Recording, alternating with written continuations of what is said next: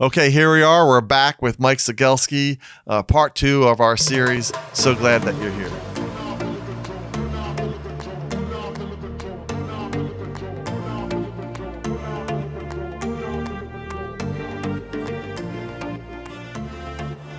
So you make it to, you know, you're free. Tell me the story how you're now waiting to somehow make it into America. How did you meet Birgit? Okay, so I got political asylum in Denmark. They sent me to Odense, Denmark, home of Christian Andersen. And the Danish Refugee Council tells me, okay, you, there's an address. You go to photo studio to take a picture, and we need that for your bus card. You don't have to pay for it. You don't have to pick it up. You just take a picture. We will get it, So- and you will get a card. Birgit, you are a professional photographer, I was at that time portrait photographer. portrait photographer. And you move that microphone to move it. You can slide.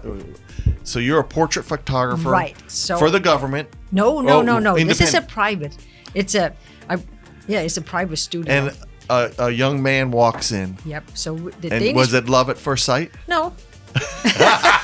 no, but so this is the Danish Refugee Council had a contract with my studio, so they would send all these people over. So I saw not only Mike, but a whole bunch of other people. A lot of them were Jewish families that were literally kicked out of Russia. Right. And then there were Kicking out some other young people between that did what Mike did. And uh, so there's it's a small studio. There was one other girl and myself working there, plus our boss. And it was my turn to go down. The reception was downstairs, studio upstairs. So I go down. Here's Mike, and he tells me he needs a picture. Take him up. I take his photo. Does he tell you that he just escaped? No, he didn't. But I, I knew because he- where he came from Right. because of the agency they sent him over. So I can't. But I didn't know his story. So took the picture and told him that we are going to send it to uh, back to the refugee council. And he said, "Could I have a copy for my mother?" And he said, "Sure." So I wrote it up. Didn't think any more of it. And then a couple of days later, I'm working in the dark room, and uh, the girl that worked there with me, she comes up and she says, "You got to get out of here because there's some guy downstairs, some foreigner that absolutely wants to talk to you. So I'll take over for you. You go downstairs."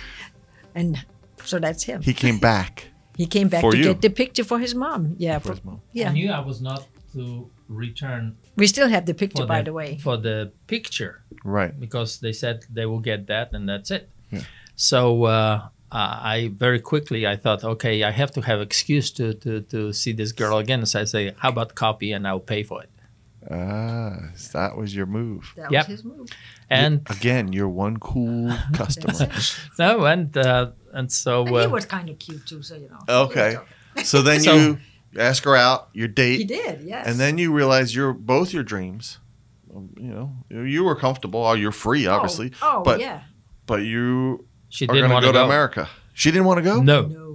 I No. No, she had a great I had my career. Family, I had my career. I had, parents. you know, so I am one that talk about going to Vietnam, volunteer because still Vietnam War, Right. I'm and not going to to go leave fight. Denmark and go to like, Yeah, live the United so this- States with a guy that's going off to yeah. So you are such a patriot already, And- and you're not even in America. You want to go fight for Vietnam because there's a war. You're saying this guy's crazy. I have a good life here. He, you manage to fall in love, Oh, and, yeah. and you make it to America. Yeah. The two of you We did. Oh, yes, together. we did. We did. and where was the your first place you go is Missoula, Montana. Missoula, Montana. And that's where we get married. Yeah. And That's where get we married. got married, and uh, uh, so he because you want to be a second- cowboy. I, I, I emphasize.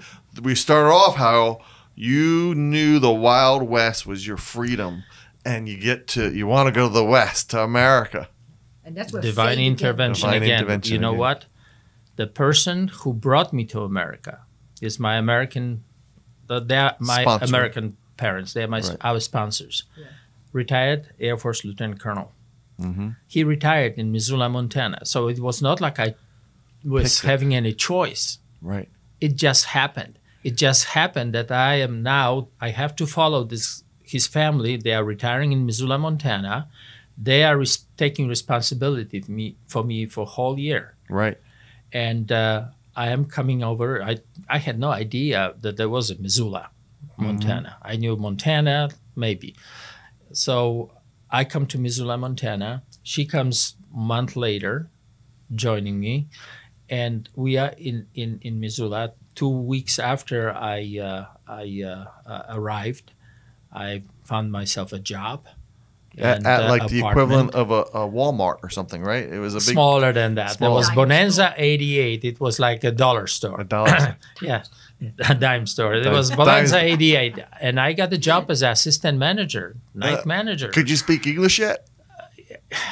I could communicate. Right, but you speak five languages, right? Yeah, but that's now. And, uh, and English was something that I was taught in Poland in grammar school. You start Russian Mm-hmm. in fifth grade, and it takes you all the way till through college.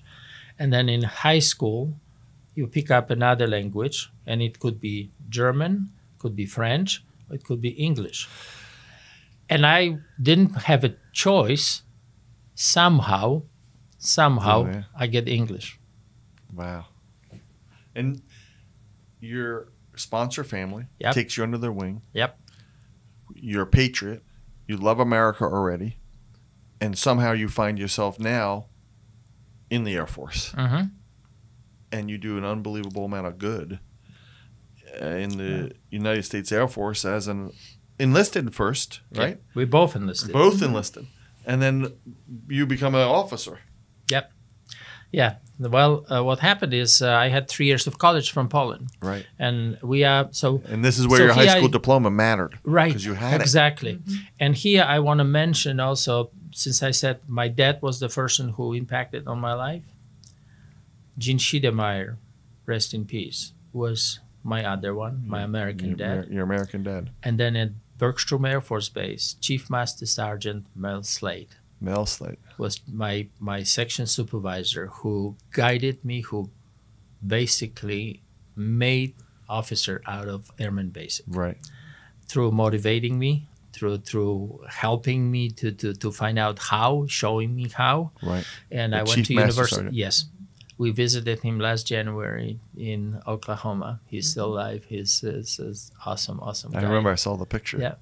So uh, uh, we, um, I uh, went to University of Texas. Mel Slate make it possible that I was working four hours in the morning, full time school, four hours in the evening. Right. I was in sport and recreation. Uh, so I I could uh, go and uh, uh, afternoon work in the gym, giving away the equipment, and on a type machine I could do the, my papers. I could do Right. the stuff. In two and a half years, I graduated with honors, and just before that, I get a letter saying, "We know that you are finishing your your degree. Would you be interested in?" Going to officers training Officers school training and then become human resource intelligence hu- officer. human intel officer, and that's when you did even more patriotic things as a I was- military man. I was, you, you know, I, I'm foremost, I'm anti-communist, and uh, because I've lived this, Right. I know from my family what they lived through. So uh, wherever it is, I fight it, Right. and uh, so it was natural for me. It was nothing heroic, nothing. It was wonderful that I was given opportunity to the last years of the Cold War to contribute a little bit Little through through whatever I was doing. and then here I am, a young kid, eighteen. You, Yeah. You're at, uh, been an officer for a while now, Yeah, and you're captain you're, you're at SOS Squadron Officer School in, in Montgomery, Alabama. I'm now at the United States Air Force Academy, and I'm a Polak.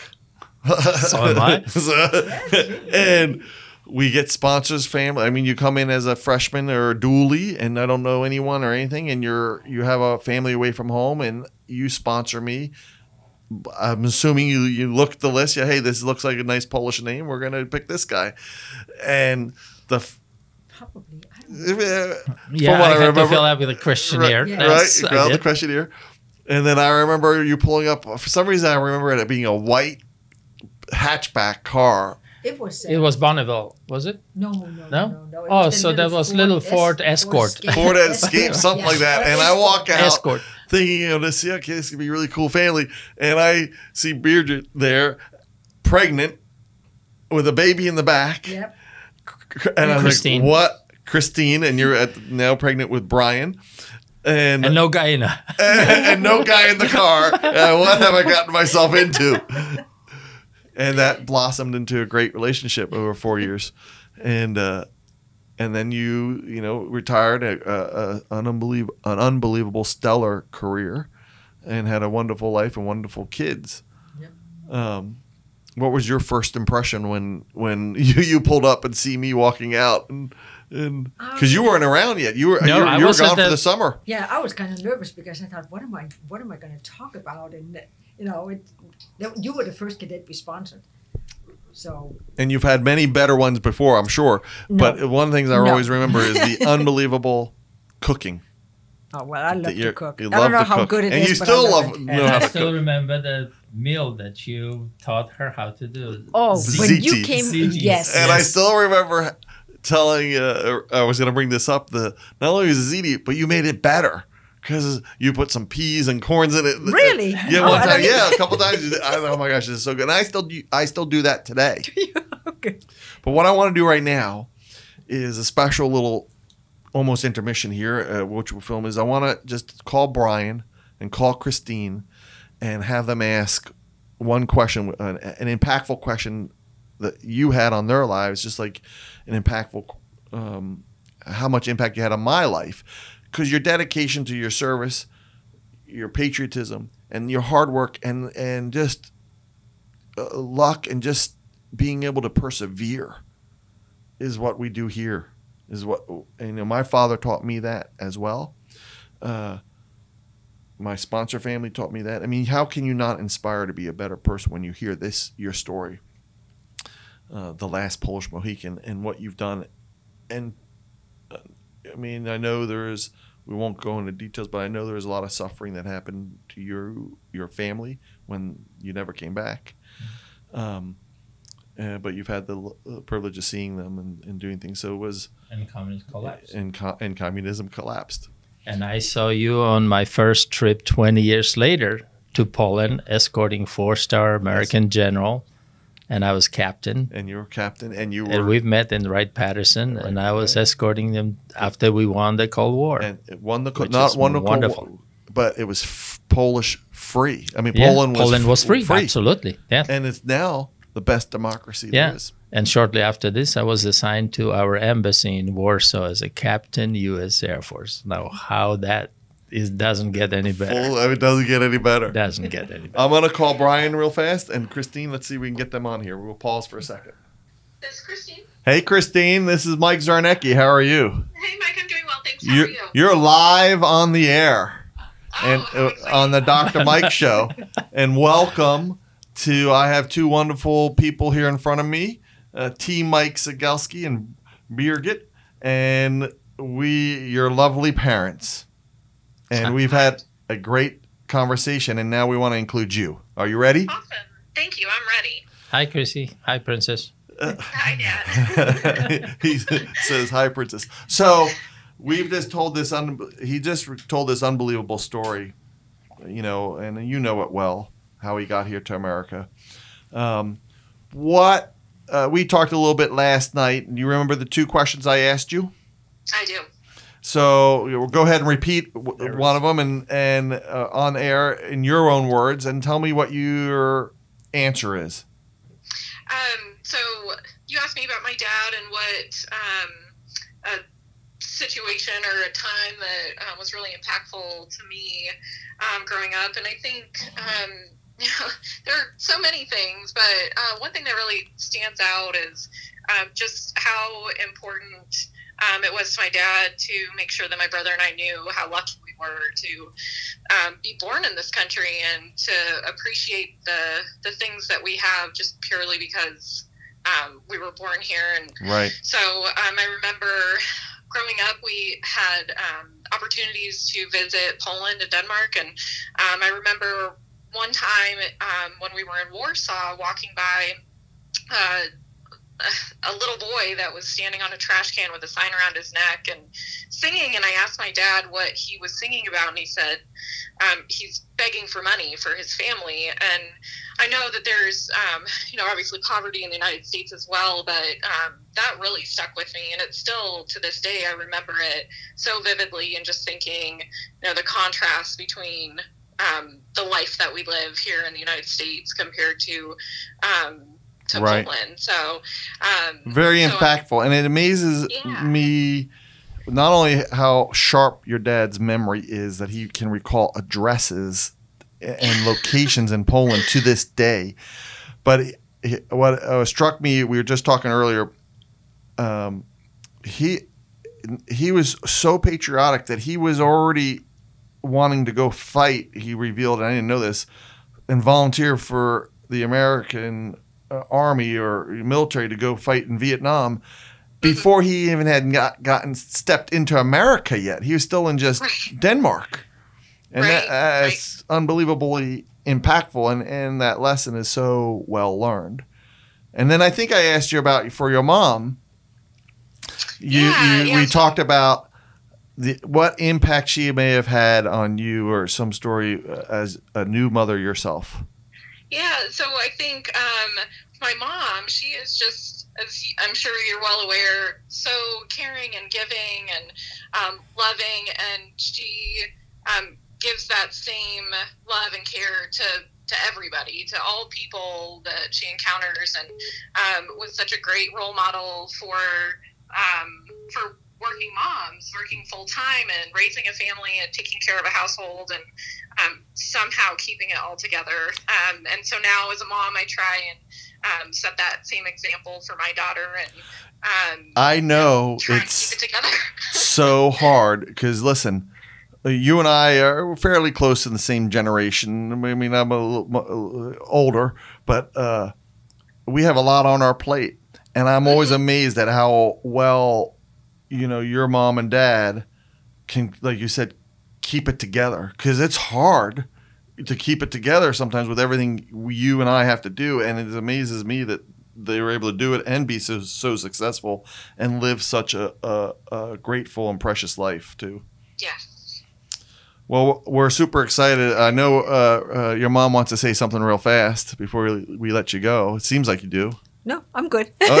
I, I will call you later on tonight, Christine. Thank you, sweetheart. We appreciate Yeah. you Thank- participating, and thank- we're, we're calling Brian next. Yeah. Thank you for your kind words. yeah, exactly. Thank you, you. Chrissy. We love you, honey. we're proud of it. Love Good- you too. Good luck uh, in your job, and we'll hopefully our paths will cross soon. And Thank you. Sounds great. All right, bye bye. bye, sweetheart. Was that good? Was that okay? Yeah. And she is a wonderful mom. She really is. like you can tell. Uh, three five eight seven is Brian, right? Three three zero three five eight seven. Three three oh. I. Yeah, three. Yep, that's it. Here we go. If you hold it uh, more like this, or the bottom. The bottom, that's what you sound from. Oh. I, Sorry. I just noticed it. That's why people travel with me. Hello. Hey Brian, uh, Mike Czarnecki, how are you? Doing pretty good. How you doing? Very good. You're live on the Dr. Mike Show, and we have two wonderful uh, people here in front of us. Your mom and dad, and I'm so All excited right. to have you on our show. Um, I you're, appreciate it. Thank you for having me. not only were they an important part of my life as a cadet and in the Air Force and being the, uh, uh, the my sponsor family, but I know obviously they've had an ongoing and everlasting impact on your life.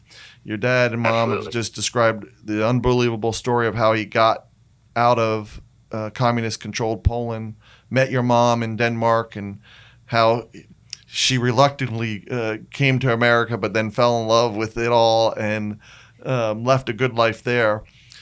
Yeah. And so now you're leading the good life. And I think I kind of set up two questions for you. Why don't you t- say what those questions are and uh, tell us what your those answers are? Yeah. So uh, you know, we uh, we we had discussed how you know something that coming from you know with with my dad coming from Poland and coming here to America, you know, there was uh, you know some of the life lessons that I learned, and uh, Like a cultural I- impact. Yeah.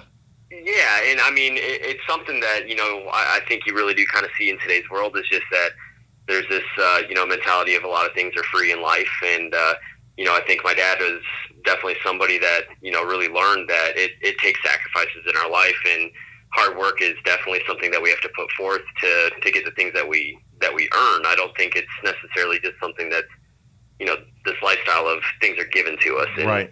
and, you know that's something that I really feel that I've grasped, and it's something that I definitely want to teach down to my children too because you know I learned nothing is life and free. It takes hard work and Right. it's something that you know I everything that I have in my life with you know my my beautiful family, my home, my cars. It's you know it, it took a lot of work to get those and Eh. and that was all something that you know I I put that hard work in and, and you know you really appreciate those things more. I think when you have that mentality. and I appreciate I had some time uh, last night with your mom and dad, and we were talking some stories. And I'll, I'll embarrass you or bring this story up because it's a great story. Because I made them tell it to my kids about tough about tough love, and oh, absolutely. about you know sometimes uh, putting yourself in front of others is not the right thing to do. And I understand you had a, a long career at Chick Fil A until Oh, yeah. until some event at Christmas happened. And what happened there? Tell me. Yeah, so uh, it was, uh, you know, the day after. I, I think I, I want to say it was either Christmas. I, I thought it was actually Thanksgiving. I think is what it was. Oh, maybe it was Thanksgiving. No, your dad says That It was. Christmas. I don't ever question your dad's memory. It was Christmas.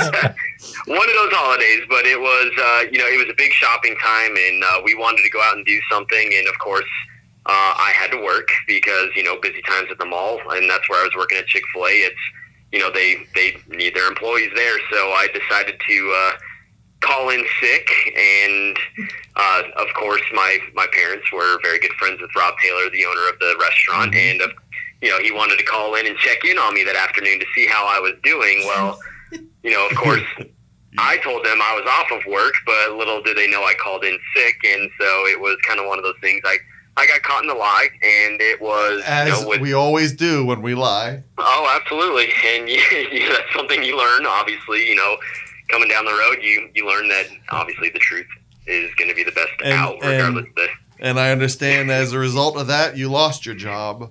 I Uh, did, and you know, and as much as I can sit back and say, you know, that was a dumb mistake, it's probably one of the more grateful things that you know I am happy that it happened. Like it, it was that tough love decision to learn something like that, but you know, who knows where I'd be today if that wouldn't have happened. And not to say my choices were the correct thing to, to lead to that, but I think the consequences were the, the biggest thing to lead to where I am today. And Yeah. you know, I found myself in a, in a career that I am so grateful to be in, and you know, just with where I had my 11 years in the Air Force and now working for the FAA. You know, Right. I, I don't know if I'd As be here air- today if that. Air traffic Wouldn't have happened. controller. And you'll be able Yes, to sir. pass that on to your kids. Oh, absolutely. And I mean, it's going to be something like you said. I mean, we're all going to get caught in it, and it's it's inevitable. You know, they're. I've got my boys. You know, they're, they're children, and that's going to happen. Right. But you know, I, I really hope that it's I've That done the same life thing on lesson. my kids. I've caught them in, in teachable moments, we call them. yes, sir. Now, how Yeah, about in terms it. of the second question I asked you? So, uh, and I want to make sure that I understood it correctly here. So we're we're talking about kind of a funny moment here with with my dad, correct? That's correct. So, I- And you can embarrass them if you want.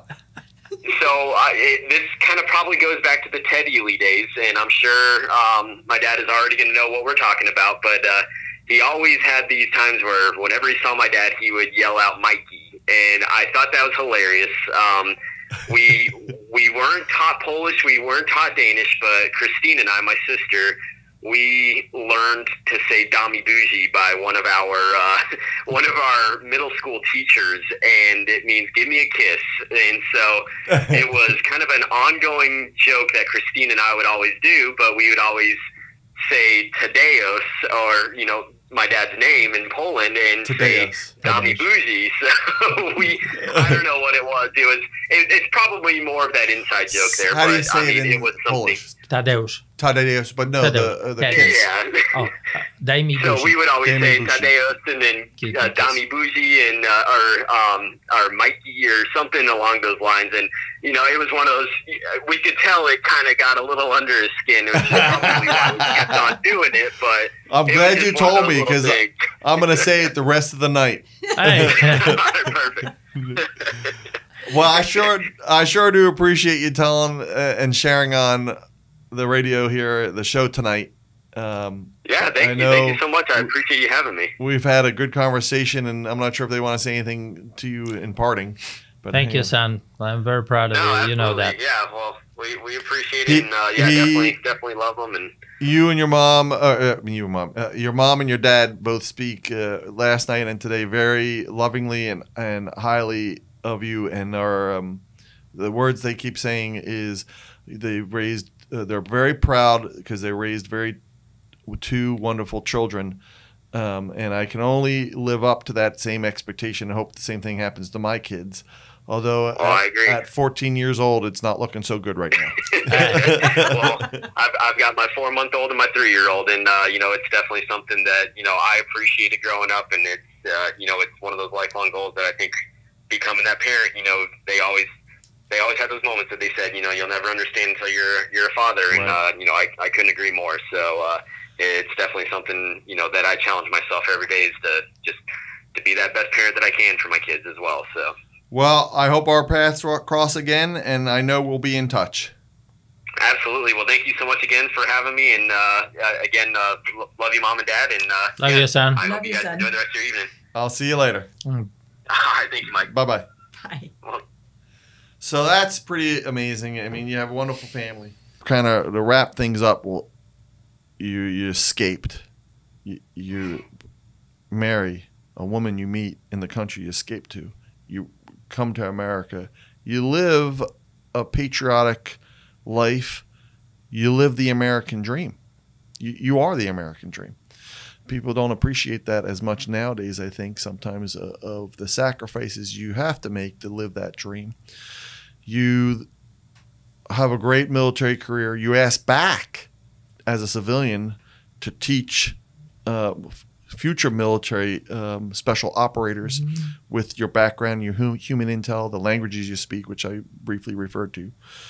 And so, and then you have a wonderful family, and, and obviously they're expanding uh, to their own family and leaving your mark. So this is kind of the point where I say what the legacy story, and the three things I point out in the legacy story when as we wrap things up are uh, three people that are very impactful. Um, you know, um, "Be the change" is a quote that uh, uh, Gandhi had said.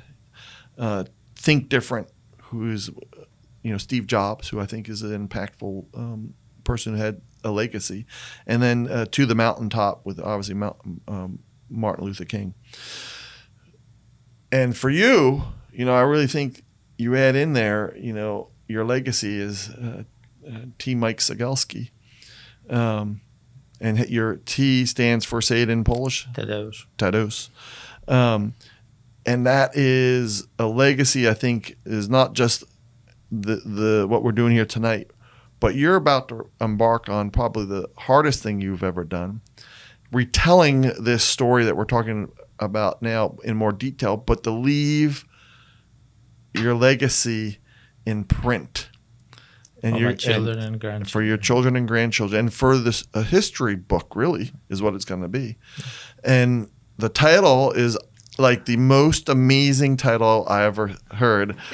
Uh, Go ahead, you can announce it here on the show. Well, the title I pick uh, one, as I said earlier, the dream of living Wild West. So yes, I lived three years in Missoula, Montana. I lived almost 30 years in Colorado Springs, three years in Austin, Texas, and then five or six uh, uh, odd years in Washington D.C.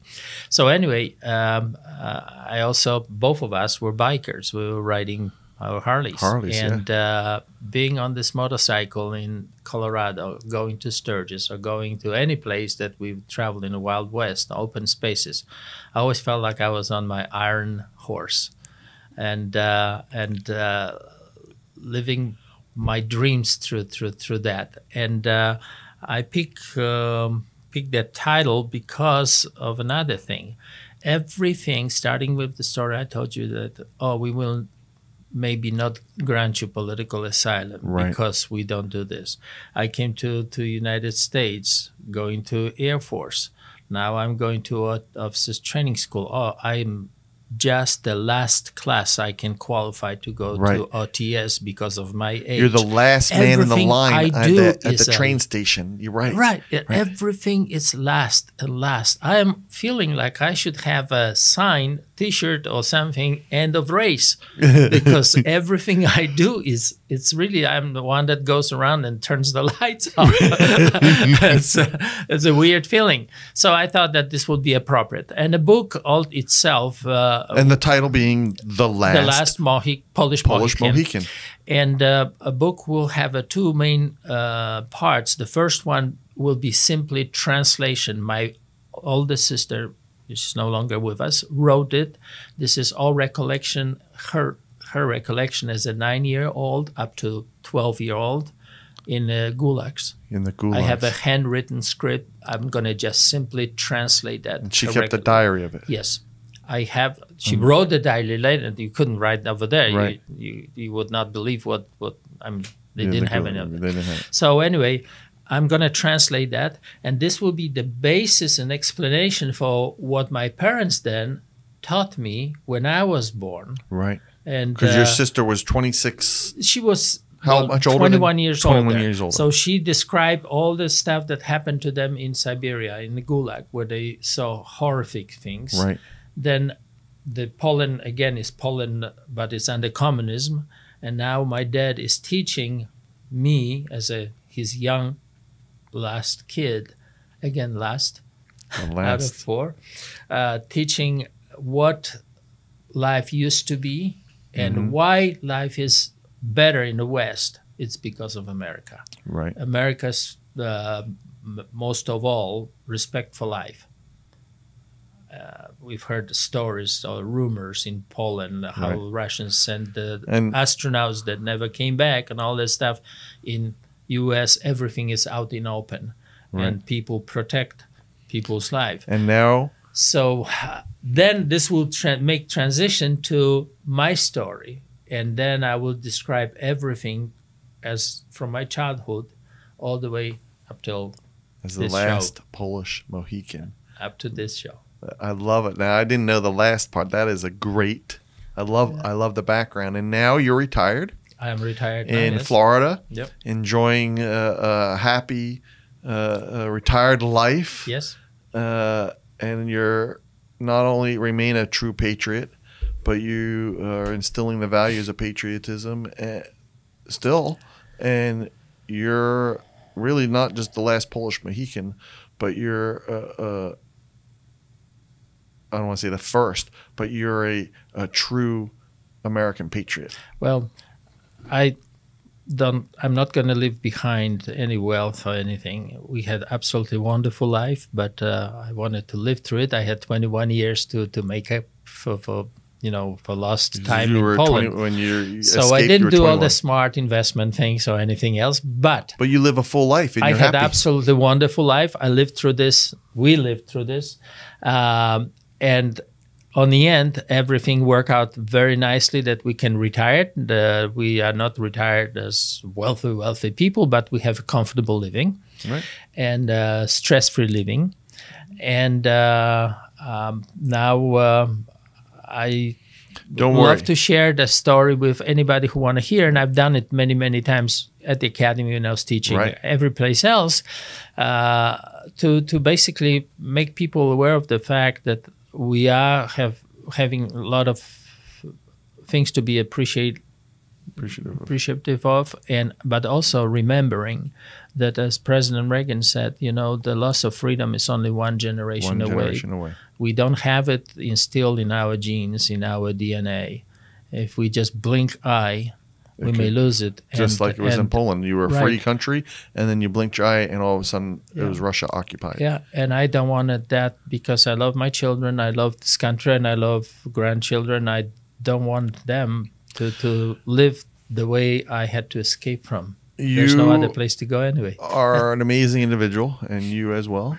To put up with him and to be to go through everything you've gone through, uh, they have such great kids, and then um, I think you're going to be surprised because I'm going to uh, help produce your movie Oh, of the book, and you will be you will still be wealthy, but you'll have lots of money once it Yeah, goes right. uh, uh, on the big screen. I'm telling you, the story is unbelievable. Uh, I just want a small role, an acting role, when it uh, gets picked up by Hollywood. Ah, Seriously. Um, but no, I uh, I do want to just say thank you very much for coming here. You he you traveled out of your way to spend time with us, and we've enjoyed our time yesterday and today together. And we're gonna do some celebration tonight. Um, and uh, this show, the Dr. Mike Show, is really. Uh, bringing, like I said, compelling people, but also to get you to know a little bit better about the people who were in my life at various stages in that life. Uh, I look forward to bringing some of my own family members. I consider you guys family. You know, I wish my father was still alive today. Um, I missed that opportunity. Uh, you know, he's died at age 54 um, from cancer, and uh, I, I, um, envy the relationship Brian and Christine have with you, and I, I hope that I can, you know, I like, uh, I miss having that father figure still alive in my life. Um, so I, I appreciate you being part of my life. So Mike, Mike, we we we are so happy we met you uh, when you were 18 years old. it's Yeah. a long You're time. part of the family too. You were, and you are, and uh, and uh, you are the American patriot. I mean, you've done better things than I've done in the Air Force. Uh, you're very humble in that, and, and I have some pictures that, to prove that that's what you've done. So I'm, I'm happy I'm um, healthy and still alive because, like we were talking before the show, we've done we've learned a lot and and we've learned a lot through doing some stupid things uh, that could be hazardous to our lives. And I'm glad that we can tell these stories now. right, So, right. Thank you, everyone. Thank you uh, to everyone, and uh, we're gonna go out and have a wonderful dinner tonight. Thank you so much. Thank, you. you. Thank you, Mike.